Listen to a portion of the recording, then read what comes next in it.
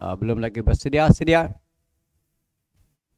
Itu dia pintu pelepas sudah pun dibuka. Agaknya terlambat sedikit magic light di sana.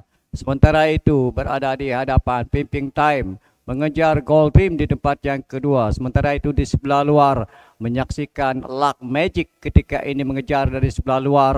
Dan gold team di tempat yang ketiga. Sementara itu beautiful princess di tempat yang keempat. Uh, Peter Little Lady di tempat yang kelima dan terakhir di sana kita tinggalkan seketika di antaranya Hunter Champ di samping Cola dan Ice dan juga Lucky Lady di samping Putih Saroja. Hampir 400 meter menuju garis lurus bagi menamatkan perlombaan ini. Persaingan ketika ini menyaksikan di antaranya tiga ekor kuda ini uh, di sebelah dalam Luck Magic sementara itu Magic Light di sebelah luar. Di tengah-tengah Beautiful Princess apakah uh, Magic Light akan memenangi perlombaan ini ataupun Beautiful Princess di, dari sebelah dalam dan di sebelah luar menyaksikan uh, kuda yang pertama ini uh, Luck Magic.